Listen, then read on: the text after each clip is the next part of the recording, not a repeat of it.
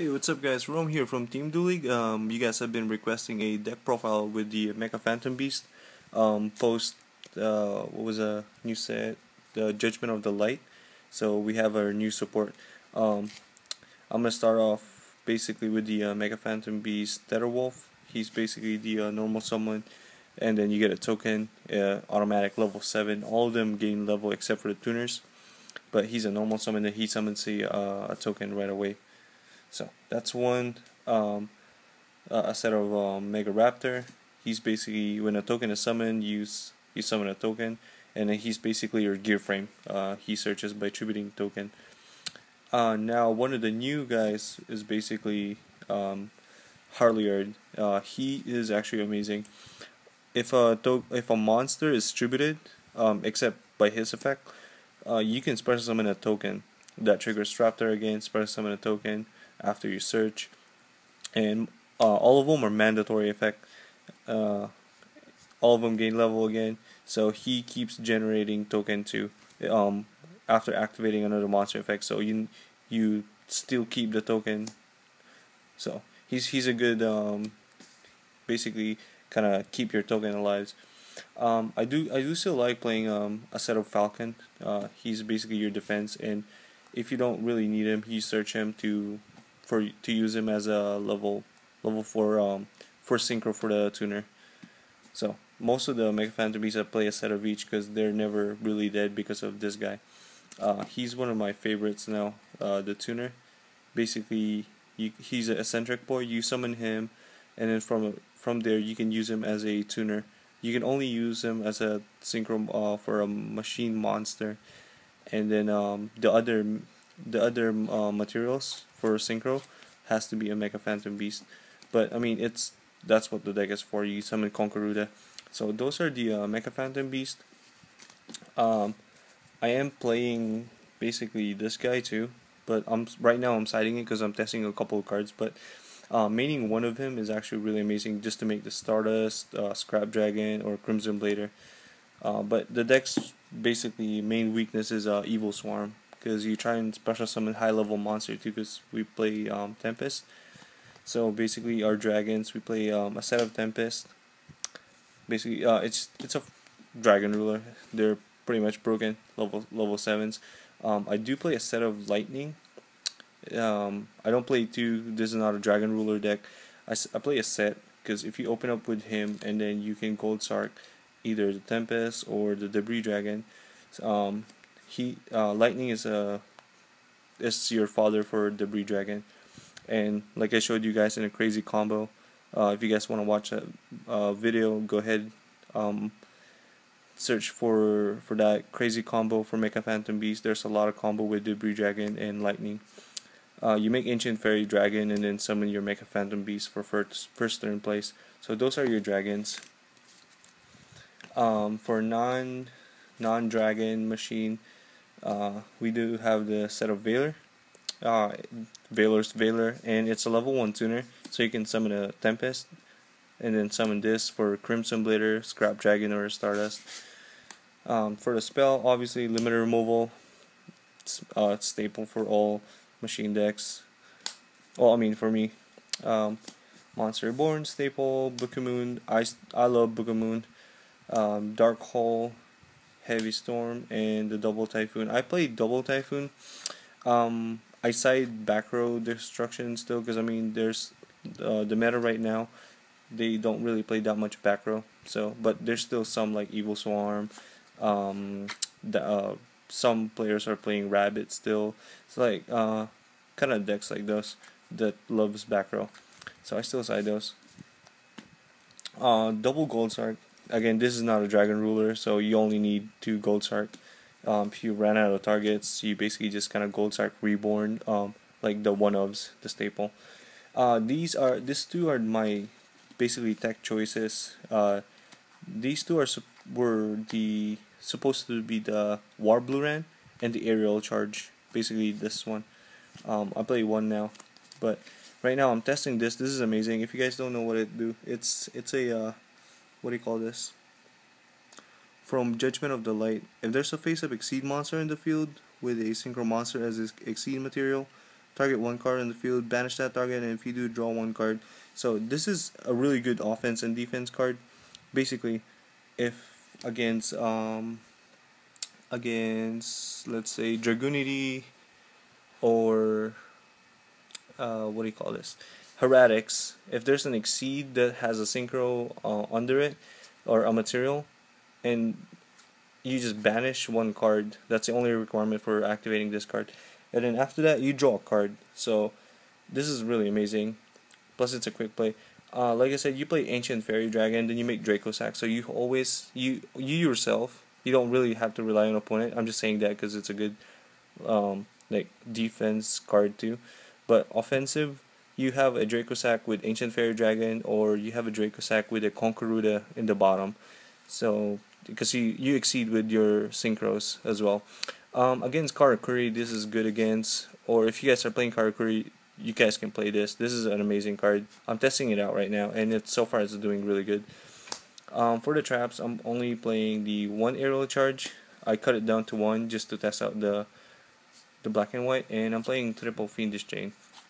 Um, this format, I mean, there's really no typhoon, so like really less people are playing typhoon. So fiendish chain is amazing, and plus I would actually play breakthrough skills in replacement of fiendish chain, but sometimes having that one token, uh, kind of letting that one token survive really saves you. Uh, especially like if you have a setup of Mecha Phantom Beast, two tokens, and a Concoruda, and you try and protect Concoruda with Fiendish Chain, uh, that's that's just amazing. Because Concoruda protects the token, the token protects Dracossack. So, the, that's the whole deck. I'm gonna show you guys the extra deck. So, I do have like the tokens, showing off. Um, I do play double Dracossack. I cut down to two because I'm trying to find like other outs, uh, basically you don't want your opponent to just know that you're only playing Dracossack. I mean the deck the deck revolves around him. Uh, but you want to find like other outs too, um, like Big Eye. Uh, I play one Big Eye because I really don't want to go into a Big Eye war. I cut down to one. Just there's there's just so much other plays that you can do instead of just going with the Big Eye war. Um, Master Master Blades um, if you're against like dragons, it's better going with the master blades instead of going to another big eye.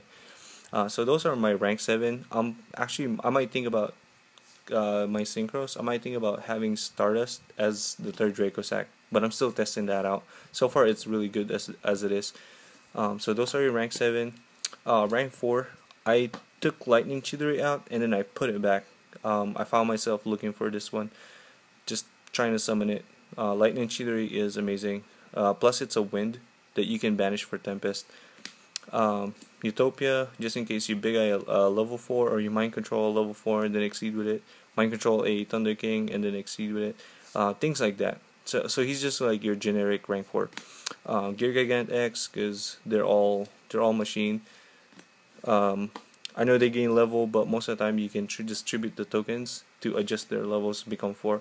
Um, and I play one rank 10 because uh, it's easy to go to a rank 10. Uh, I was playing Gustav Max and it's it's really amazing. I can't say anything bad about Gustav Max, but right now I'm just testing out Sky Palace, uh, because it's a wind. You can banish it for Tempest after you're done, and it's a destruction. So if you need to bait out like something bottomless or fiendish chain, anything like that, um, they they can use it on this guy because you're gonna try and pop a card anyways. So a lot of and then it's a minus a thousand if you pop a card.